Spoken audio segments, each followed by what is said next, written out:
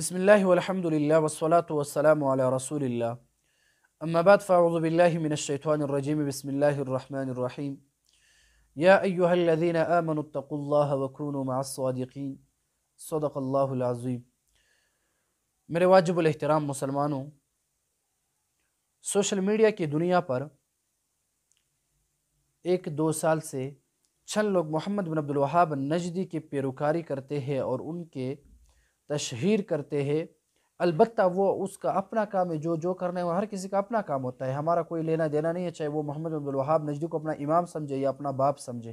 ہمارا اسے کوئی لینا دینا نہیں ہے۔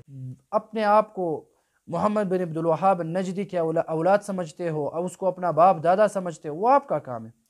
لیکن میں آپ لوگوں کو کہنا چاہتا ہوں کہ آپ لوگوں نے چیلنج دیا ہے محمد ابن عبدالوہاب نجدی کے عقیدے پر، ان کی شخصیت پر، ان کے کردار پر۔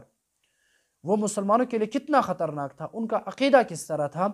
اس بات پر آپ لوگوں نے چیلنج دیا اور تنظیم تحفظ عقائد علماء دیوبن کی طرف سے ہمیں یہ چیلنج قبول ہے۔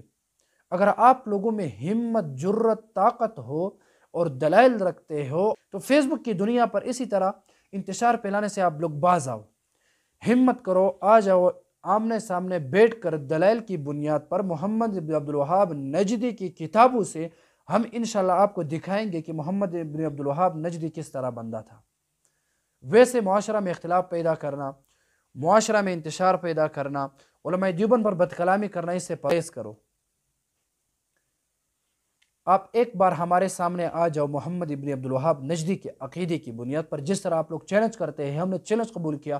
ایک بار آؤ، انشاءاللہ اگر دن میں تارے نہ دکھا دے تو انشاءاللہ یاد رکھنا۔ کہ اگر آپ لوگوں میں سے تھوڑا شعور ہو، تو آپ لوگ انشاءاللہ آمنے سامنے بیٹھ کر ہمارے ساتھ بات کریں گے۔ اللہ تعالیٰ آپ لوگوں کو اتنی ہمت دے کہ آپ لوگ ہمارے سامنے آ جائیں۔